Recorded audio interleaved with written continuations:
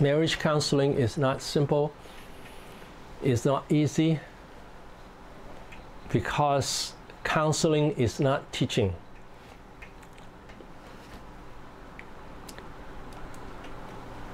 Okay, now we have talked about this. Uh, I'm not going to go over this, the difference between male and female.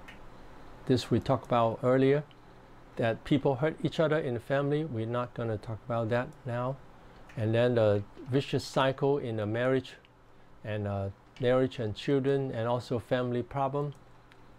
Okay, I'll go to the steps of marriage counseling for a couple that is willing to work on the marriage. Um, marriage, single, singular. Okay, so marriage counseling is for couples who are willing. What if one is not willing? Then, um, then it's another kind of marriage, marriage counseling. It's if they, they are not willing, um, then we need to talk with the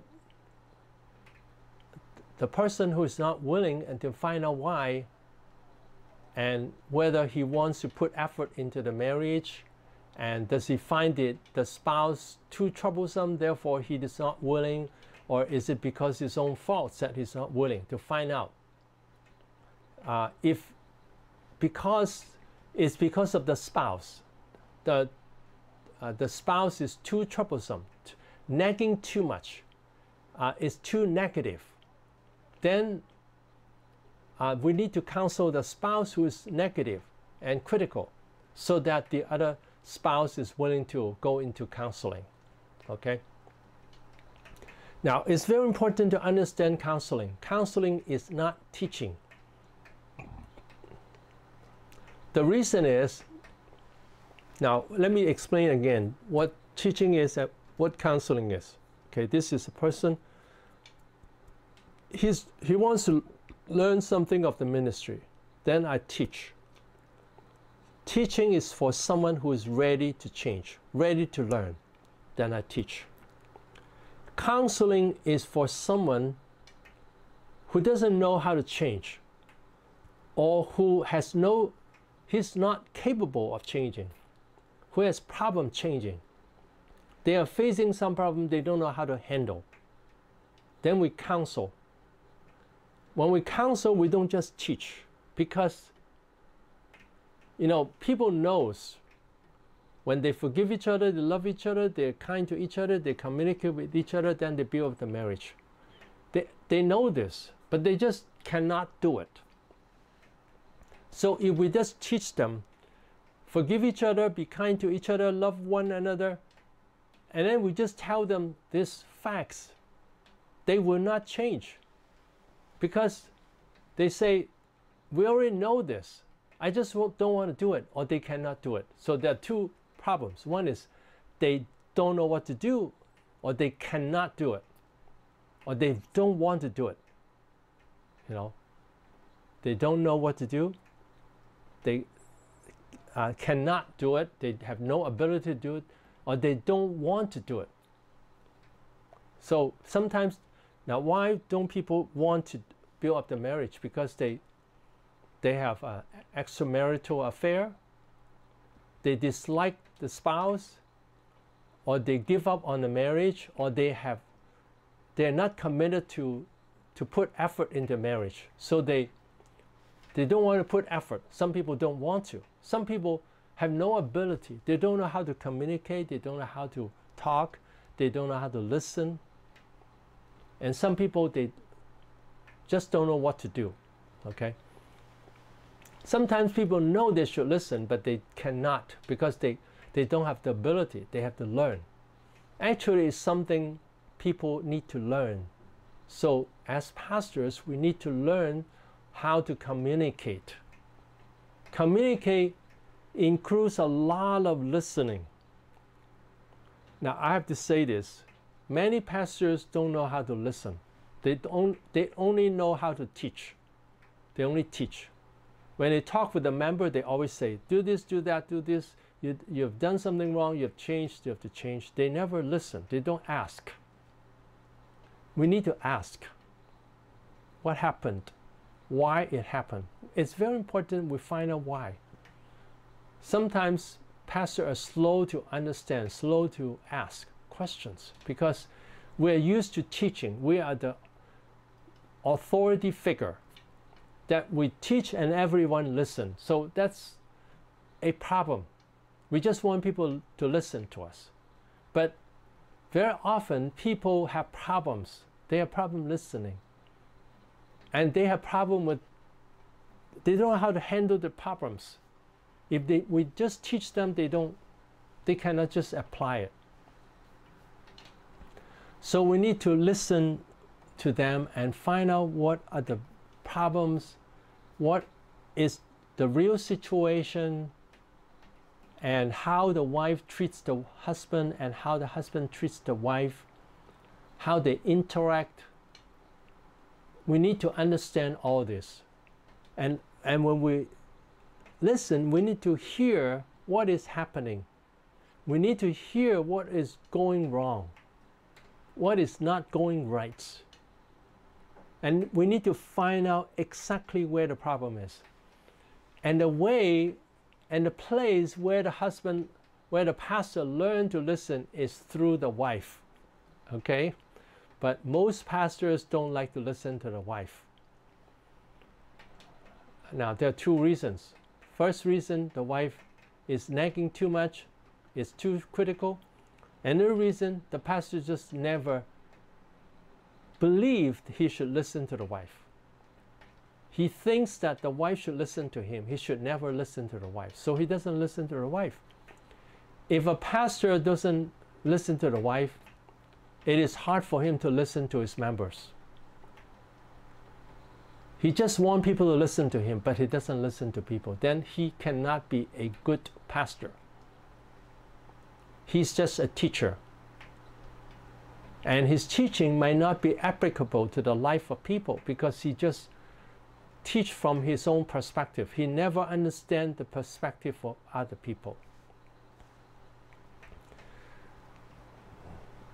Our wives, the wife of a husband of a pastor is very important. That the wife will let the pastor know her feeling and let the pastor know the feeling of the other members. Um,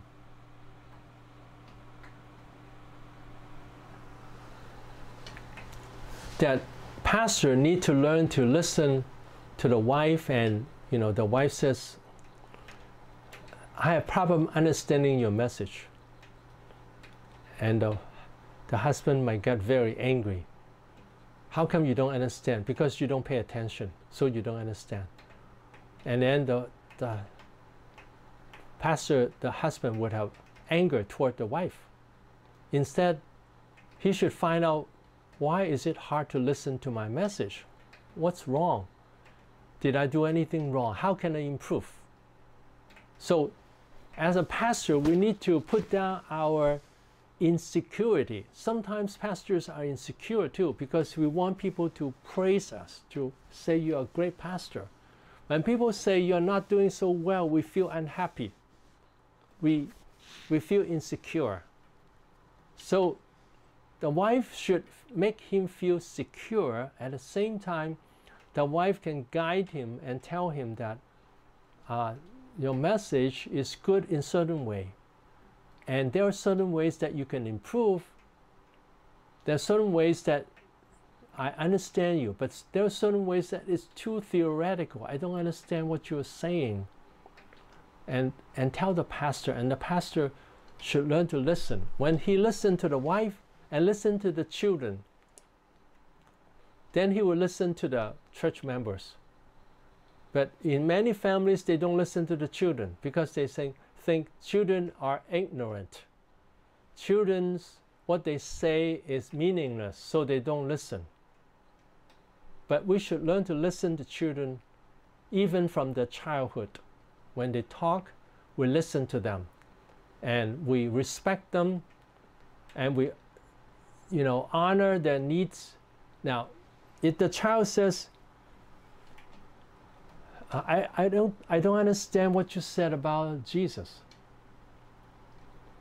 The parents should not be angry, but the parents should say, okay, let me think of a way to explain to you about Jesus so that you understand Jesus.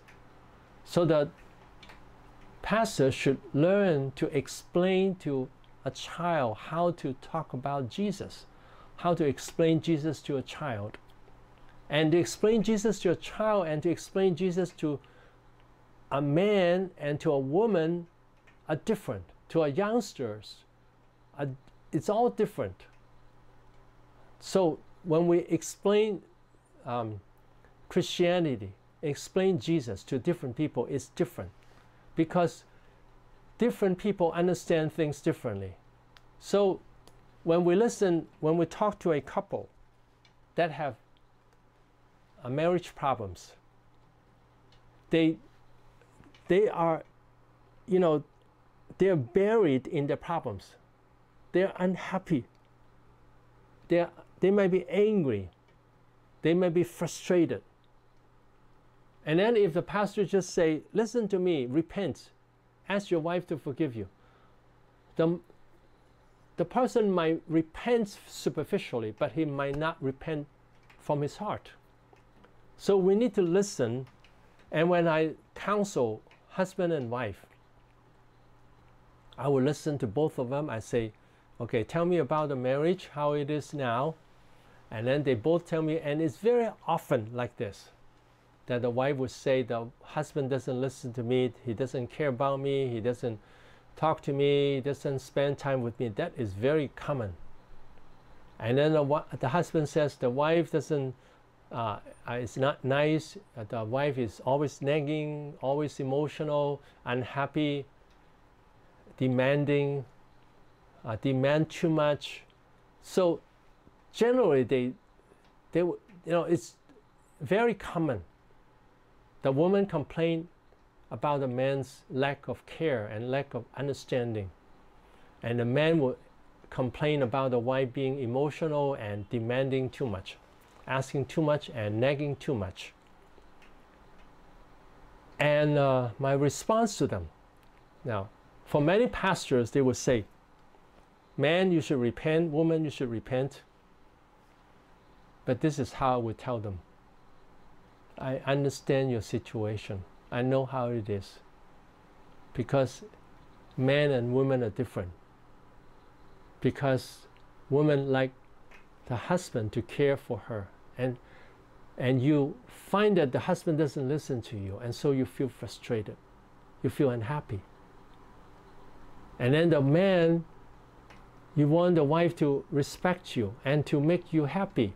But the wife now is always nagging and demanding too much and he's, she's too emotional, so you're unhappy and you don't understand each other. So I, I, name, I name their problems. And both sides, very often both sides say to me, Pastor, you're the only person who understands me.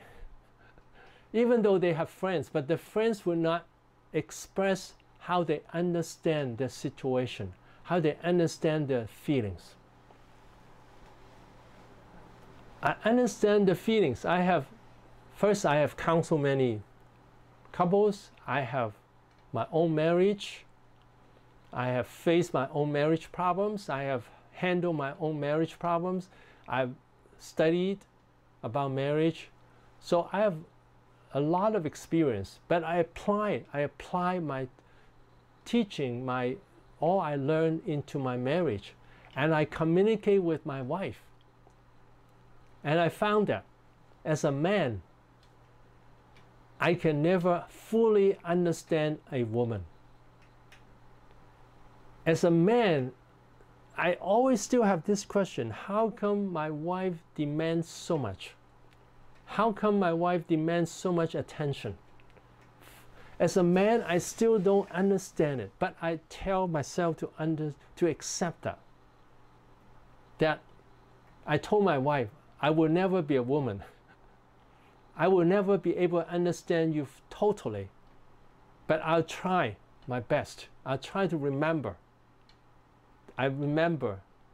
And I also like you to understand that when sometimes I did not pay attention to you, it doesn't mean I don't love you. It just means that because I'm business oriented, because as a man, we are task oriented, business oriented. So I tell her, please understand that sometimes when I neglect something about you, I forgot something about you, it doesn't mean I don't love you. It just means I'm concentrated in the business. So I tell her, help her to understand me as a man, and I help myself to understand her as a woman.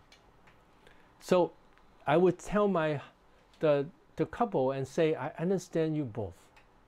And I tell them why it is hard to have a good marriage, why it is hard for the husband to listen to the wife when the wife is nagging. So I would say to the wife, try to explain your situation in a peaceful way and try to help your, under, your husband to understand instead of criticizing him. When you're criticizing him, you attack him, immediately he will defend.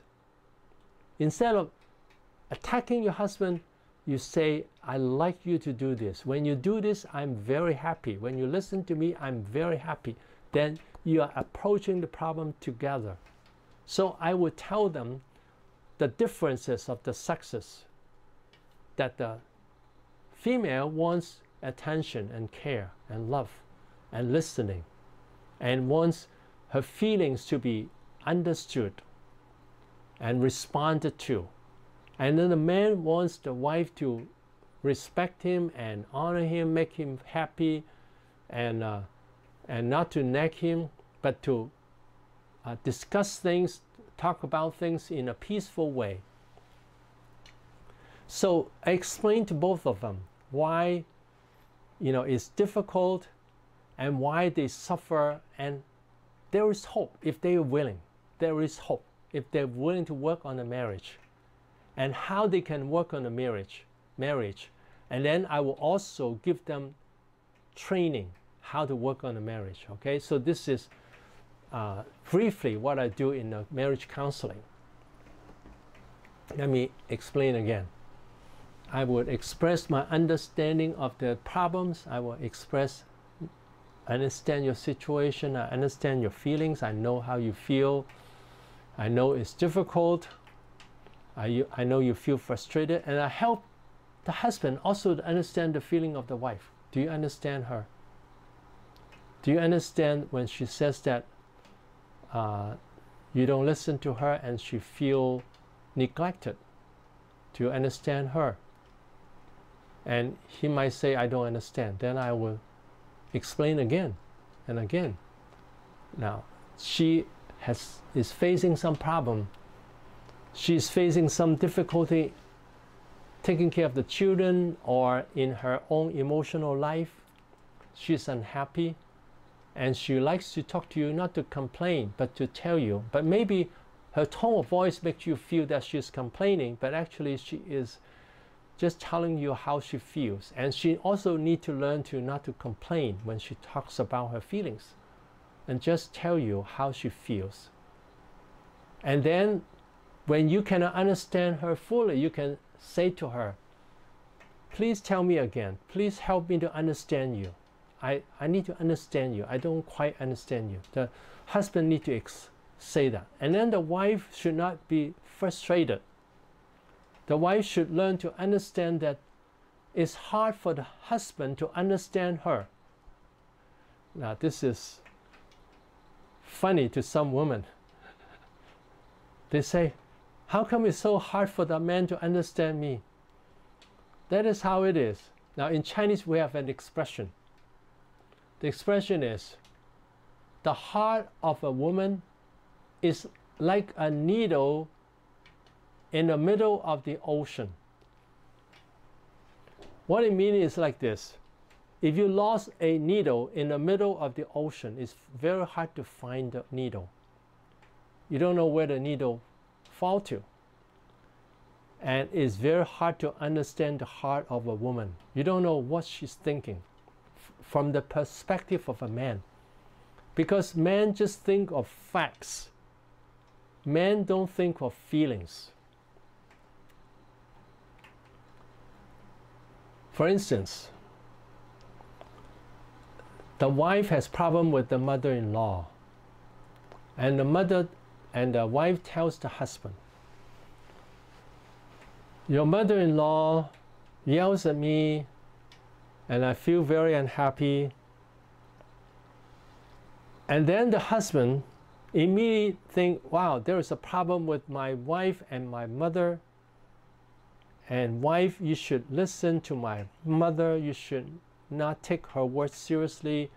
You should be calm and peaceful and be nice to her and apologize to her. Okay? So the husband just tell the wife what to what to do. And the wife feel very angry because the husband doesn't understand her at all.